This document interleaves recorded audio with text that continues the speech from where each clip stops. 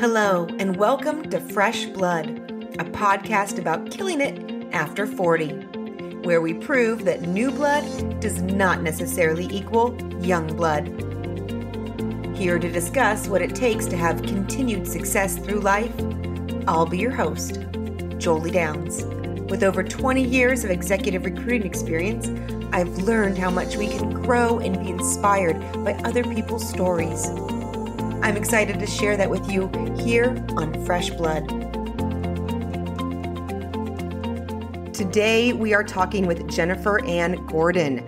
Jennifer has made her living as an actress, a magician's assistant, a gallerina, a comic book dealer, a painter, and burlesque performer before becoming an award winning horror fiction novelist and an award winning professional ballroom dancer, performer, instructor, and choreographer. Jennifer has also had her mixed media artwork published entitled Victoriana Mixed Media Art of Jennifer Gordon, and she is the creator of Vox Vomitus, a video podcast on the Global Authors on the Air Network, as well as a co host of the podcast Writers Showcase. I am so excited to learn more. Jennifer, welcome to Fresh Blood. Could you tell us a bit more about your journey to getting where you are today? Hey, thank you so much for having me. So, yeah, my name is Jennifer Anne Gordon. I am a native of New Hampshire in the United States, and I have always been more on the artistic side of things. I don't do math or science very well, so I had to figure out a way to make my living in the arts. I went to mm. school for theater, and after that, I worked in an art gallery and then I moved to the Midwest and I wrote an independent comic book and I owned a comic book mm-hmm. store for a little while. And then I concentrated for a really long time on visual art. Mm-hmm. And then on a whim, I decided to take a ballroom dance class. And I was in my early 30s when that happened. And I fell in love with ballroom dancing. And I ended up becoming a professional ballroom dancer and, and an instructor at an old age in the business in the dance business it was very yeah. like weird to have somebody like start in the business in their 30s Love yeah I've been a, yeah wonderful. I've been a ballroom dancer for since 2010 professionally covid kind of derailed that a bit the dance studio yeah. i worked at ended up shutting down so oh, i had sorry. to really pivot my career in the last year and a half but i am also a novelist so it gave me time to concentrate on my writing and figure out uh, what to do next because I didn't have a backup plan and my husband is my dance partner and he didn't have a backup plan. So oh, wow. COVID hit and we went, "Oh, we don't have a job anymore." What did you do? How did you pivot? How did you deal with this past year and a half? A lot of panic. Oh, a lot of panic. Yeah. Just like pure panic most of the time, stress eating. But I will say, being a ballroom dance instructor, I have met the best people I could possibly meet in my life. I have students in all different walks of life, all different careers. And one of my now former dance students was opening up a political advocacy oh wow. boutique firm and he knew that a i needed a job and he knew that i was passionate about social justice and things like that. On a lark he offered me a job kind of training to be a political advocate which is a, a nice way to say lobbyist because mm-hmm. lobbyists have a, such a bad connotation to that word. But what mm-hmm. we do is political advocacy for groups like the National Association of Social Workers and the Psychologists Association and things like that. Oh, I love it. So, yeah, and how I, has that been going? Pivoted to that. That's, amazing. That's a been, big pivot too. It's a huge pivot. It's a huge pivot. Um, and again, it was a strange time to all of a sudden get into politics in oh, this peripheral politics. way. yeah. And everything was virtual because of COVID. So it was it's just been a really weird year. And I've just learned a lot. Some things I wish I could unlearn about the mm. way the world works in reality. Um, mm-hmm. but yeah, it's been a learning experience. It's been great. I'm glad that the the state house is not in session during the summer because it, it's nice to have the summer off because my brain was a little there's so much is happening Oh, so much has happened. I feel you. I'm right there with you. it's just, it's a, it's a really weird time in history, that's for sure. And it, it's like a tender hook because it's such a weird time in history. Just exactly. Stop. I know. And if you don't know, like, how to even plan things at this point because i'm obviously i'm also a writer and i'm on a committee for a literary conference that's supposed to take place in person in november and it's been very weird to like contact people to get them to be at this literary conference because so many people are still like i don't know what it's going to be like in november mm-hmm. like, i don't know what the mm-hmm. world is even going to look like I'm curious, such a switch from ballroom dancer to lobbyist type of role. I, now, there's a lot of people who have had to do a big switch over this past year. There's so much has been shaken up, and and some are going to be going back into the industries. Some are finding new industries. Is there anything that you've learned during this the switch that you've gone through that has helped you successfully make this change that you think might help other people? Um, you know, honestly, ballroom dancing and being a ballroom dance instructor or being a teacher of any kind I've, and especially because mm-hmm. I, I taught adults who were learning to do something that they obviously didn't know how to do. A lot of them were scared and nervous and awkward when they first start dancing. So my job as a ballroom dance teacher i feel like the dancing always came second. My first job was to make a friend with my mm. students and get to know them, get to know why they are there, like the real reason why they have decided at the age of 60 to learn how to dance. Mm-hmm. And I mm-hmm. feel like for me, political advocacy, and one of the reasons why I was offered this job, so much of it is about building relationships and yeah. communicating with people. And my student, who's now my boss, knew that I was good at connecting with people. So I would say for everybody who's had to make a huge change in the past year and a half, I would say try to find the very small similarities between what you did and who you were pre COVID and what you're doing and who you are now, because it might seem like it's a completely different world and you're doing something completely different, but there's a hint of who you are in your past career in whatever you're doing now. Yeah.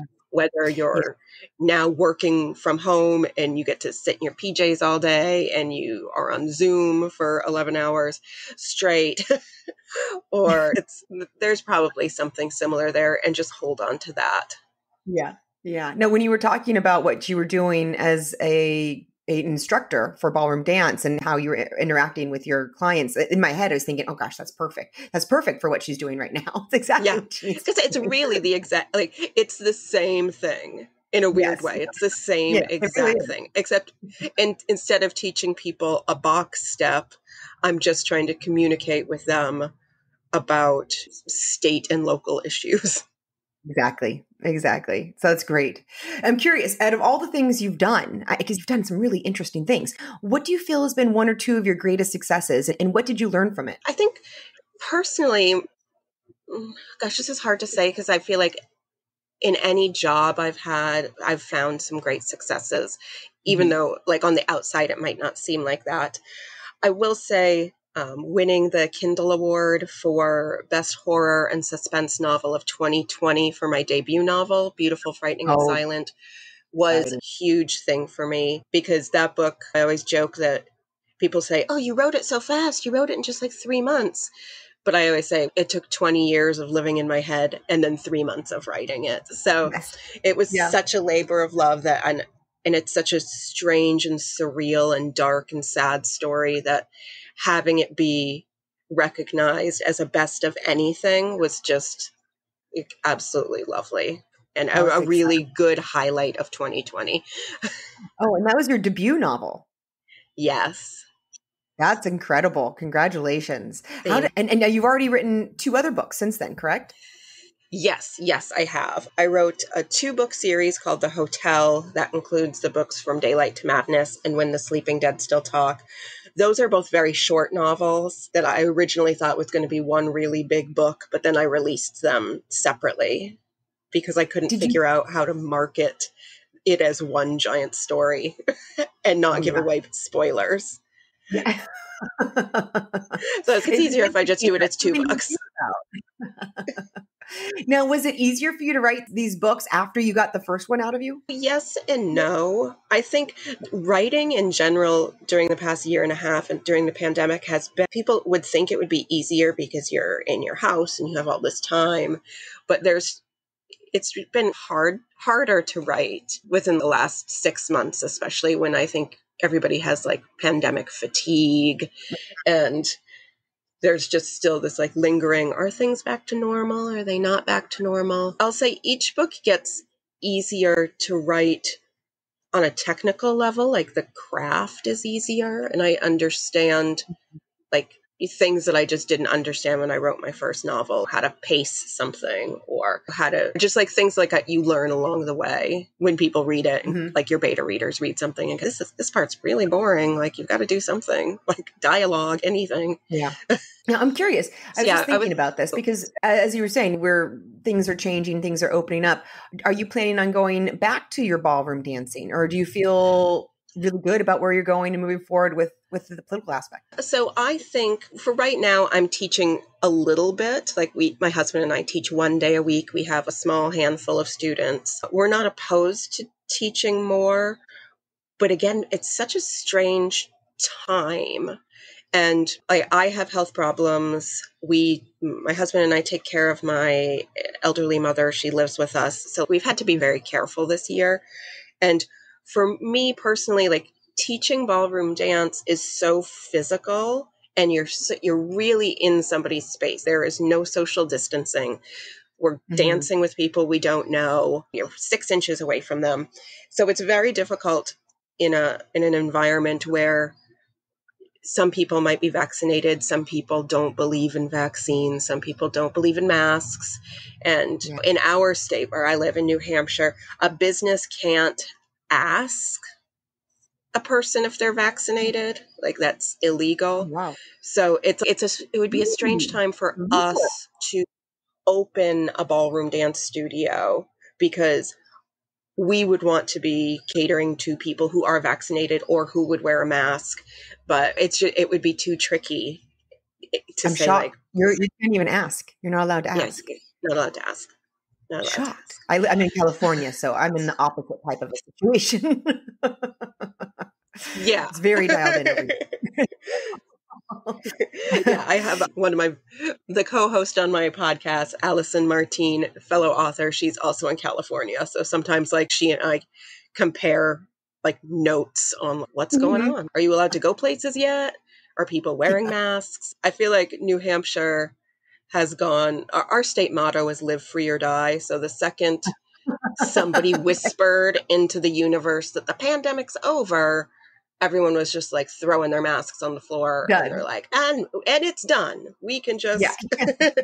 i'm like oh no that's not how this works. Yeah. No i went to georgia and i was like wait wait isn't there a pandemic happening? I don't know. It wasn't happening there because I was like, that's too It's funny. a completely different world in California. It was fascinating. It was fascinating.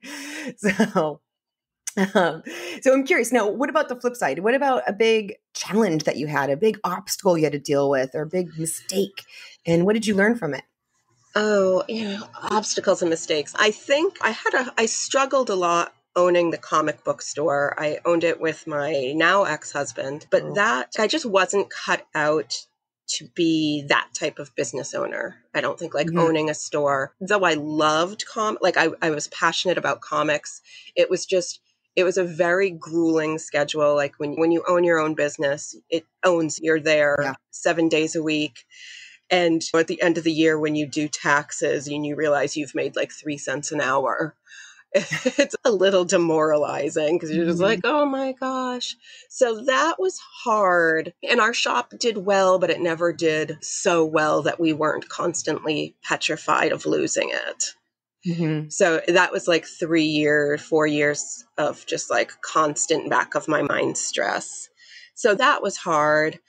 Also, yeah, I think that was probably like the hardest job obstacle that what did I had control like? over. Did you sell the company when you got divorced? Did the we ended up? Yeah, so I was doing uh, artwork on the side. I was doing my mixed media art on the side and I was selling it on Etsy. And I would have to get up really early in the morning in order to still be able to paint and package orders. And it just became obvious that my heart was there. And my husband at the time was already working a day job someplace else because we just couldn't both survive on just the comic shop alone. So I was working at the comic shop and it was taking time away from artwork. And I ended up being very successful on Etsy once we sold the comic shop and I was able Wonderful. to focus just on artwork yes, for a long it, time. Such an important lesson to learning what you what isn't right for you is just as important because we get into things and, and so many people will stay in something that isn't right for them. And it's amazing what happens. I had a situation myself where I was helping in a family business and it just was not happy. And once that was let go and that opened up all this time to actually focus on the things I wanted to be doing, what a change in life. What an amazing, wonderful change in life. So, yeah, I feel like if people were strong enough to realize that little moment that you just said, I wasn't happy, and be mm-hmm. strong enough to just if we all did it, like that's when you make a change. But I think we just spend a lot of time being unhappy and just thinking, because we're grown ups, you know, that this right. is what life is. You do something, and if you're happy, that's great. But it, happiness is a bonus, and it shouldn't be a bonus. It should be just like mm-hmm. what we have in life. We should be allowed to be happy. I agree. Life should be about joy that is what it's about for me. so, well, you know, a lot of things, a lot of things. I that that comes off site, but that's a lot of things. But joy is very important to continuously bring into your life. So, now, what do you think? What do you think is key to having continued success through life?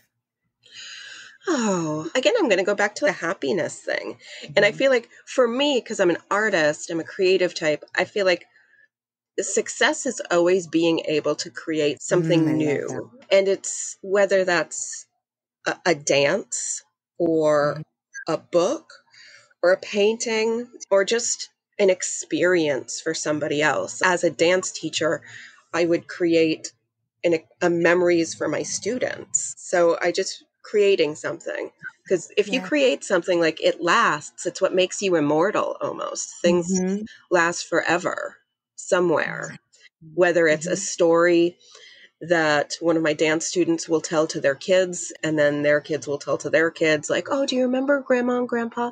They were so beautiful at the tango. Like it becomes like family stories and i and the part i had in that creating that for other people is just as important as painting yes you know i love that answer. It's beautiful. Yes, I completely agree too. Is there something that you've learned throughout all the things that you've done that has brought you the most benefit in your life that you think could benefit others? It's just going to sound so, I don't want to sound like overly like new agey and overly happiness thing, but I've learned to forgive myself when I make mistakes and I've yeah. learned to stop self censoring. Like for many years, I think I was telling myself, I can't write a novel. I don't know how.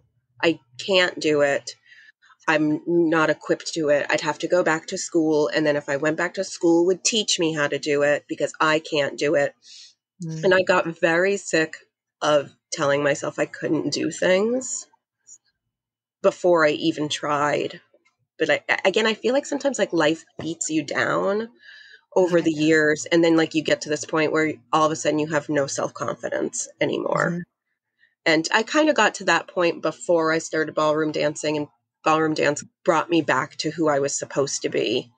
And that was this like the, the long journey to becoming myself yeah, no, this is important because that's what you said right there is so true. Life does beat you down and it beats out for so many people and it beats out the confidence. And there's countless people sitting in that feeling right now. So, what about uh, through your tough times? What did you do to push through your tough times? Ballroom dance was what one of the major things that got me through my tough times. So, I was in like a bad place mentally, like for a while. Doing art was great and I loved it, but it was isolating. And I was in a relationship with my ex husband that wasn't healthy. at all. And I, I ended up becoming like very agoraphobic. Almost Mm. like I didn't even want to leave my house. I'd have a panic attack if I went to the mailbox. Um, but there was a ballroom dance studio a block from my house, and I had wanted to take lessons, ballroom dance lessons, my whole life. Like I just wanted it so badly. And a long time for me to build up the courage to actually walk through that into that dance studio and How change my life. Because that's a big deal. You just said you wanted it your whole life and you never did. Yeah. I think about that with a lot of people. What there's these longings that people never do. What was that catalyst? How did you cross the threshold into that? the irony is my now ex-husband for our first wedding anniversary got me or slash us a gift certificate to learn how to ballroom dance Okay. and I, I was so thrilled but then he very quickly said this isn't something i want to do at all. And i was like oh so i'd be going by myself? And i, I just it felt so weird. And Mhm. i would stare at that gift certificate and just like long for it so badly. And i had that gift certificate for over a year. I think it was probably about a year and four months. And then the dance studio started calling me and saying, We noticed you never used your gift certificate. Can we schedule a Mhm. lesson? And I ignored those phone calls for weeks just because I was too petrified. And finally, one day I just picked up the phone when they called and I scheduled a lesson. And I think I lost five pounds that week, the week before my first lesson, because I was so petrified oh wow. and and it was just like so it seemed so scary to me. I didn't know if i was that person that could learn to dance anymore even though once upon a time i had been on stage as my job i just like forgot that part of me. I finally got that courage went to the ballroom dance studio and that is where i met my now husband amazing. you know, he was my dance partner for years and we were best friends. And then everybody kept saying, I don't understand why you two aren't dating. And this was after I broke up with my husband and stuff like that. And we were like, oh, we're just friends. And they're like, it seems like you're more than friends. And we are just like, oh no, we're just friends. And then uh, we obviously weren't just friends, but Yeah. like we were- it- took like everybody else saying you're in love with each other. you don't want to admit it when you're such good friends. Sometimes you don't want to ruin that. Yeah, So, exactly. But but Yeah. the great thing is because we were such good friends, like we didn't hide things from each other. We didn't have that. Like, oh, we're dating, so I'm just going to Mhm. show you the good parts of my personality. You got Like, the true. we knew, yeah, like we knew all the bad stuff and the great stuff going into this. That's awesome. so I'm curious. Have, how do you have any regrets in life that that you've learned from that might be worth sharing? Yeah, I'll say I regret staying in an abusive relationship as long as I did.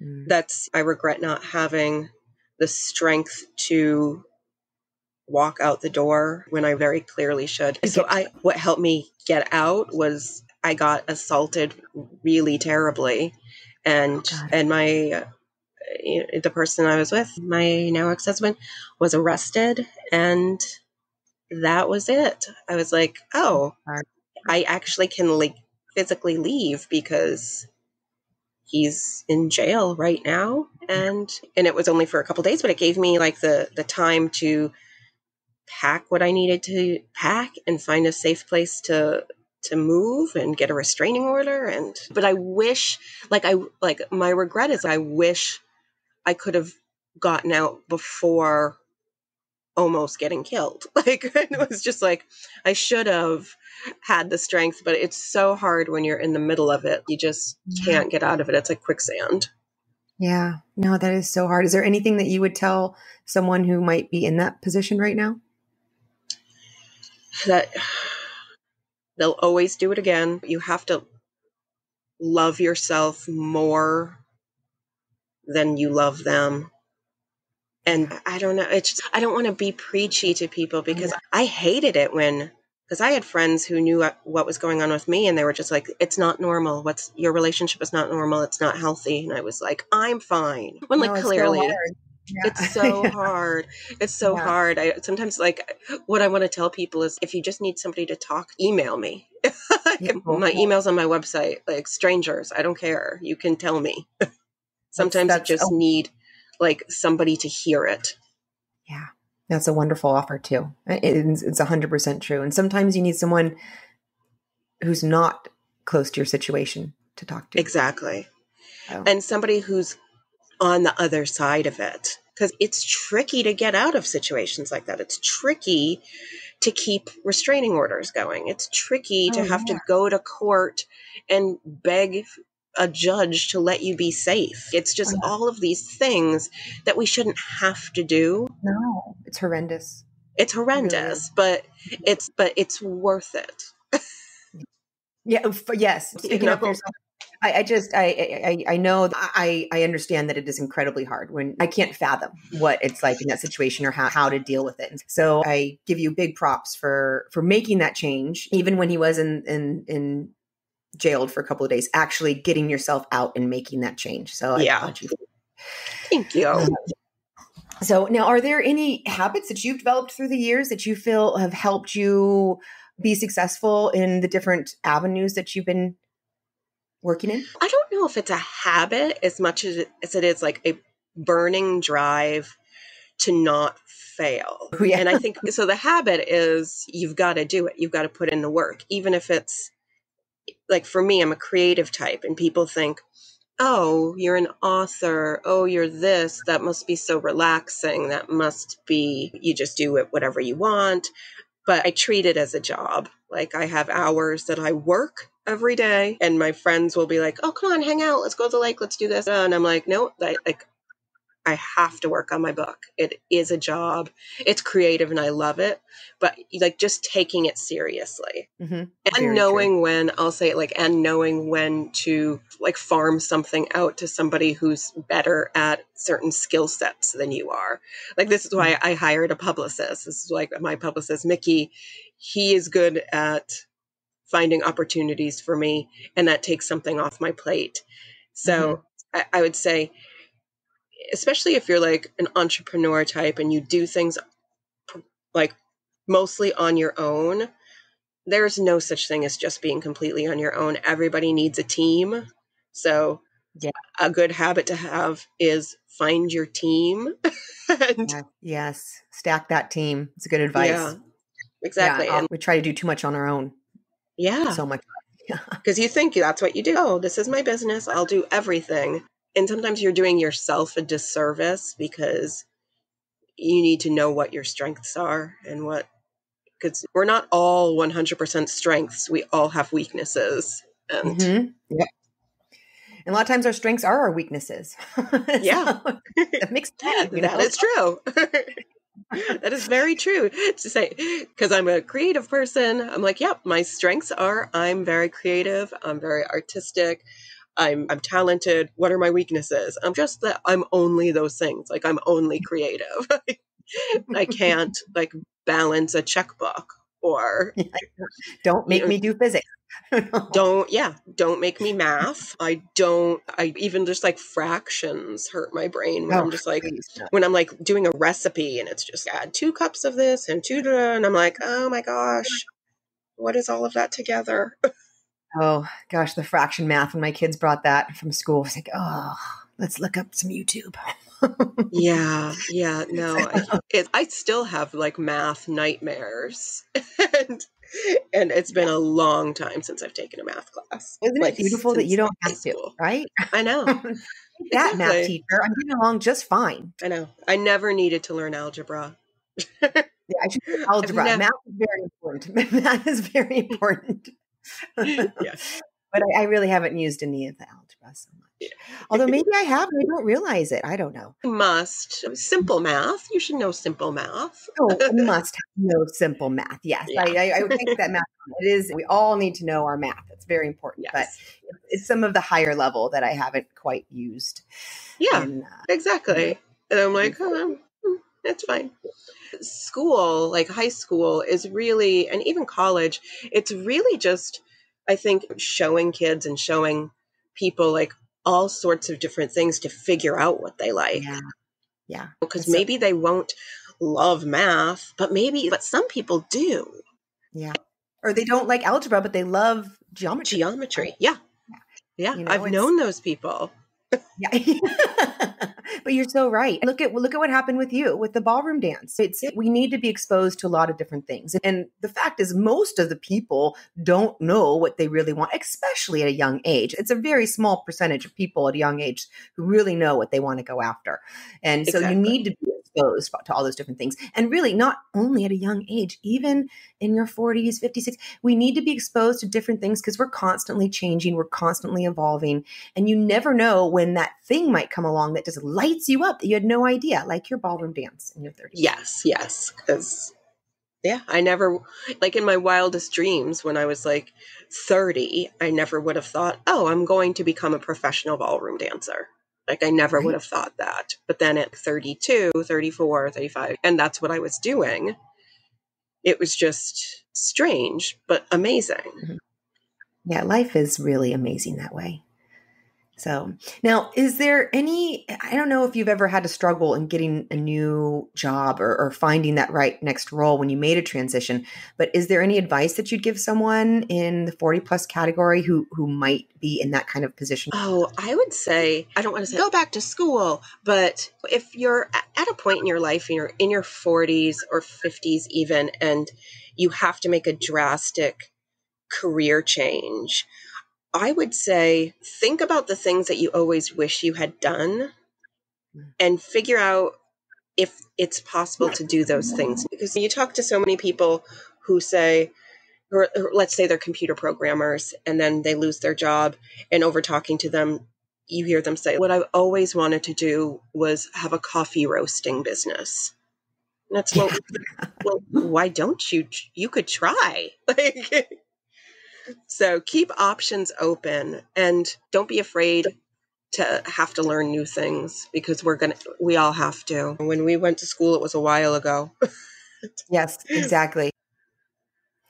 So, Jennifer, have you ever experienced ageism in any of your industries? Yeah, it's weird because I started ballroom dancing late, quote unquote, late in life. I was in my 30s, which starting in a, a dance career in your 30s is you, you almost have one foot in the grave is how they made me feel a little bit. Boss at the time she hired me but we would end up having these staff meetings almost every day where she kept saying things like i need to hire a, a young and pretty female instructor because oh. yeah as if i was like this old ugly hag at the oh. age of 33 and and i would just get so upset and i was like I would cry in the bathroom. And every day same thing. We need to hire somebody young and pretty young and pretty. Jennifer's fine. She can make people laugh but we need somebody that a man would be willing to rob a bank for. Oh. i remember she, she, said that once. Oh, and so out of like pure spite on my part i just was so determined to succeed at that business that i did everything i could to become a really good instructor. And within six months, I was in like the top 15 female instructors for the country at like signing up new students. So it was like a very mm-hmm. specific category. But it, I worked for a large ballroom dance franchise, and it, so it was out of 120 studios, and I became oh, wow. like in the top 15 teachers, and I would win teaching awards every year. And, That's amazing. But she never stopped saying that we need to find somebody pretty and young. Oh my God. You know, and showing that it does not matter what other people say. Does not matter what other people doesn't say. matter. Doesn't matter. Mm-hmm. They don't know. They don't know what you can do. They don't know what you are capable of. So perfect. This is really random, but it's just a little thought in the back of my head. I was curious. The magician's assistant. how, did, how did that come about? And is there anything you learned from that experience? Yes. So it came about. I went to school for theater and there was a professional theater company called New Art Theater that was run out of my school, which was the New Hampshire Institute of Art. And I got to meet a lot of really incredible performers. And I became good friends with one. And I was working at a little bookstore just like part time because I was in school. And he said, I have this idea for a show I want to take on the road, but I need somebody A to help book the shows and organize things, but I also need like somebody in the show. And and, it just worked. And so I say magician's assistant, and people think that I was like being sawed in half and stuff like that. But yeah, but he and like pulling rabbits out of hats. But he was a mentalist or like a mm-hmm. psychic entertainer. So it was more. It was more natural and it was like Victorian era, like seance work mm-hmm. and readings and things like that. So mm-hmm. I was that kind of assistant. Mm-hmm. I still got to wear a cool outfit. Yeah. Yeah. beautiful red, like velvet cloak with feathers. So there it's, I basically did it for the outfit.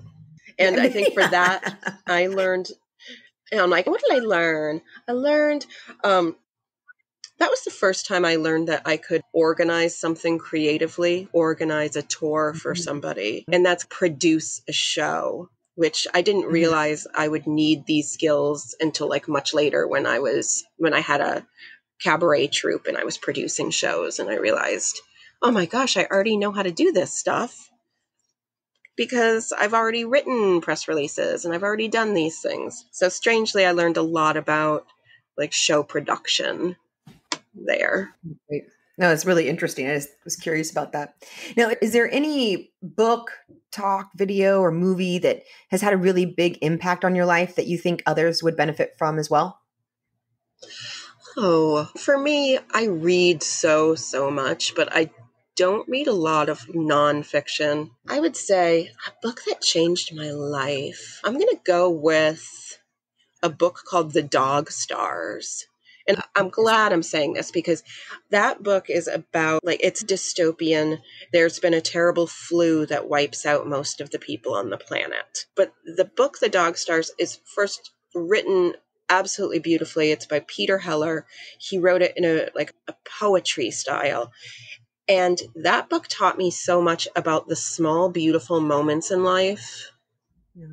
When you know you would think the book would be like depressing and terrible, and there are parts that are heartbreaking, but it's almost like a love letter to life. Oh wow. Even though the world is quote unquote it the world ended basically and there's only a very few people left and not all those people are nice, but it's really it's a love letter to life. And Oh, that sounds wonderful. It's so beautiful. So I would say that book will teach you to appreciate very small moments. Mm, I'm going to put it on my list. Thank you. So, You're welcome. Before we wrap up, I will have your website on the show notes for people to go ahead and take a look there. Is there anywhere else that you'd like people to go ahead and take a look to find out more information about you? Actually, my website, jenniferannegordon.com, has everything because it has all the links to my social media, my Facebook, my Instagram, my Twitter. I'm mostly active on Facebook and Instagram Twitter, not so much. It gives me a panic attack to go there. uh, but yeah, just go to my website. Perfect. Before we go, I want to ask you my last question that I always just love to hear what the answer is. What are you sure of in life? Oh, wow. I'm sure that my dog loves me more than anything in the world. Like when my I want to be the person that my dog thinks I am. So I'm sure that every day I just strive to be the version of me that my dog thinks I am. I love it. I love it. I'm right there with you. There's my dog making a little noise right now. So I know I'm surprised so when I just said my dog that he didn't come to the door because sometimes when I'm on a podcast, I hear him like scratching at the door. What are you doing in there? Thank you so much for this, Jennifer. It's been such a great talk. I appreciate your time. Thank you so much. There is so much to learn from Jennifer's story. Jennifer held different roles in the beginning of her career, doing a variety of things, as so many of us do when we're trying to figure out what works best for us. One of those roles was a comic book store owner. For Jennifer, owning the comic book store was a struggle. There were financial concerns with a consistent fear of losing the store. It took a huge portion of her focus, leaving her little time to pursue what she wanted to be working on. And she was just plain not happy. I applaud Jennifer for acknowledging that she was not happy in her situation and subsequently selling the business to make a change. Too often, we stay stuck in situations that are making us unhappy because we are scared. And this is so normal. Fear of the unknown keeps you frozen in place. You worry what if it gets worse? If this resonates with you, if you are feeling unhappy, but scared to make a change and worried it will get worse, here's what I want you to know it's already worse. If you are unhappy, you are not where or how you are supposed to be. Bottom line, something needs to change. Life is not supposed to be unhappy. Life is not supposed to be drudgery and difficulties and only have tos. Life is supposed to be about joy, growth, learning, love, happiness. Do not settle for less. If you are unhappy, ask yourself why identify the pain point in your life. These will be the things that you do not want in your life. Once you have done that, you can now figure out what it is that you do want in replacement. Then create a plan to get you where you want to be. Then every day, ask yourself what is one step I can take today to bring me closer to my happiness. Keep taking those steps.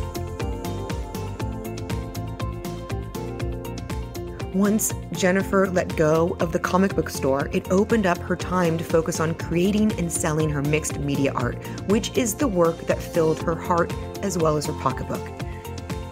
Let go of that which does not serve you so you can make space for that which does.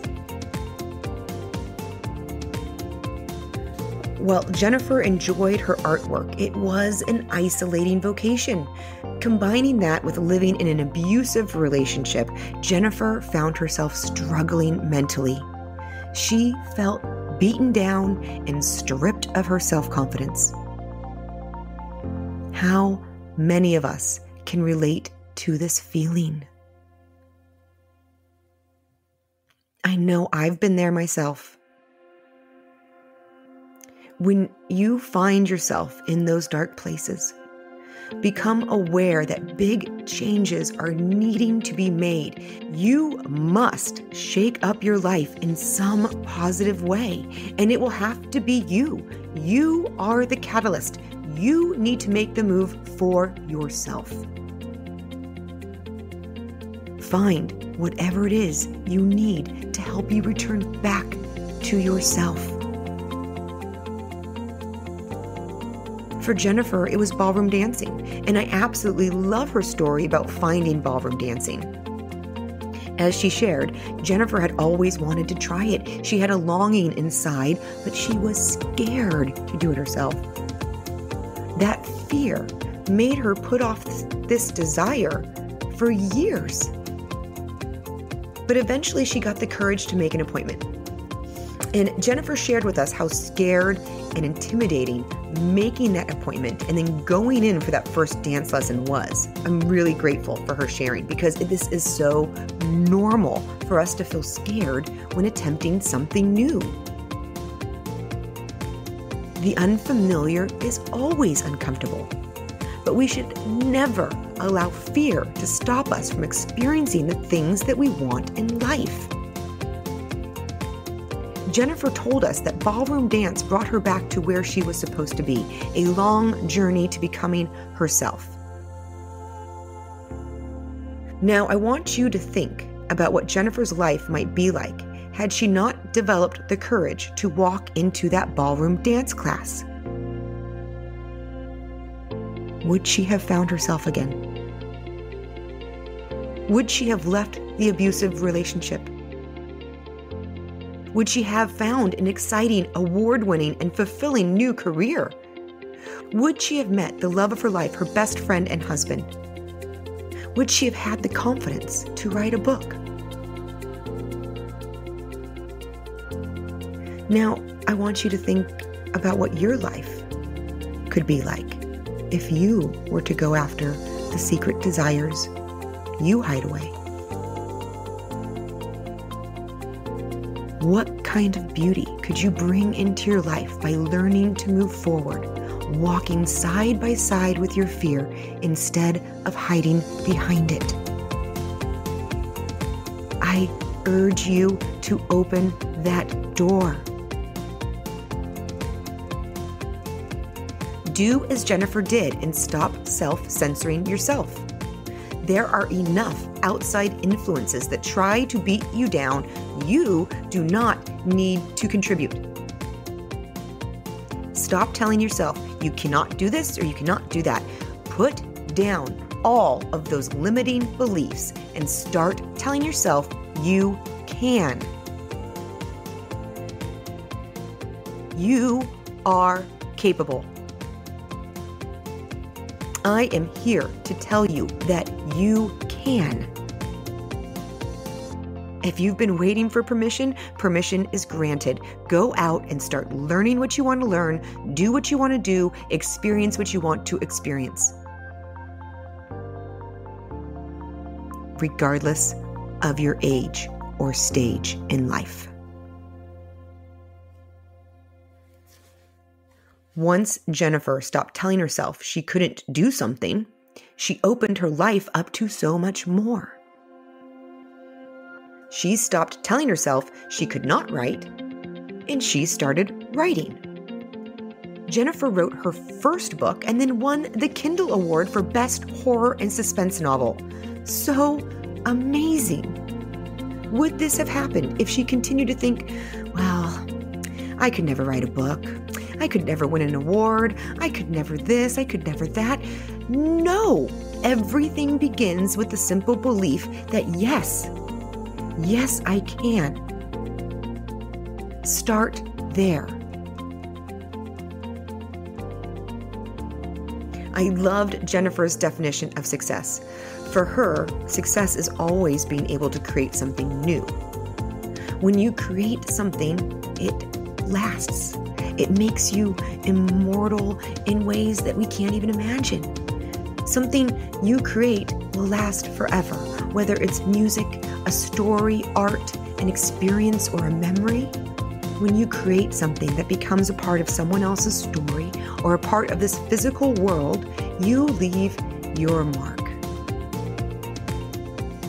And Jennifer has done that not only with her writing, not only with her art and with her podcast, but also with the experiences she created for her students.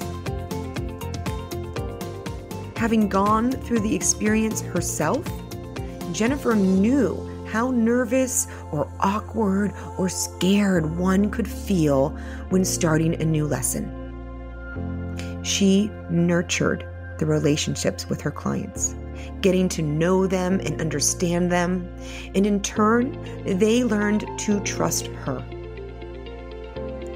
Jennifer is excellent at communicating and building positive relationships with others, and this is such an important skill to develop as this will help elevate every aspect of your life. Keeping good connections with people is a huge contributor to overall life success and fulfillment. I know that there are many situations in life that would feel oh so satisfying to burn a bridge in that oh so special way. But I've learned through my own story and from those of others that this is a very small world, and burning bridges can come back to haunt you. Developing and nurturing positive relationships with as many people as possible will consistently come back to enhance your life. Look at what happened with Jennifer when the pandemic hit, wiping out her business and her husband's business. a student of hers stepped up and offered her an amazing opportunity to put her strengths to use. Now, Jennifer also shared after we stopped recording that the magician she worked for called her during the pandemic to see if she needed a job. She did not, as her student had helped her there, but this old connection ended up giving her husband a great job. All because Jennifer develops strong connections with people. How can you help grow your own relationships?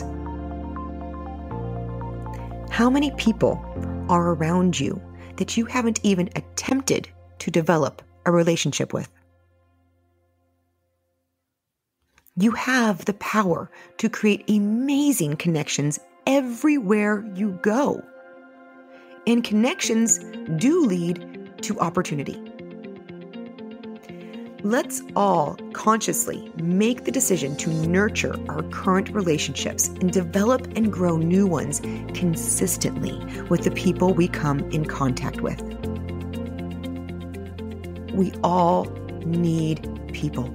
It is the people who support us throughout all of the various stages of our life. So, that is my wish for us all that we create a life full of deep and rich bonds with the amazing human souls that surround us.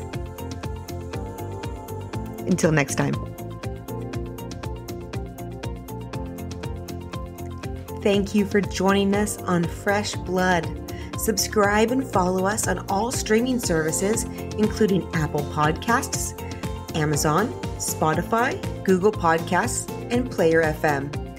You can also follow us on Facebook and Instagram at Fresh Blood Podcast.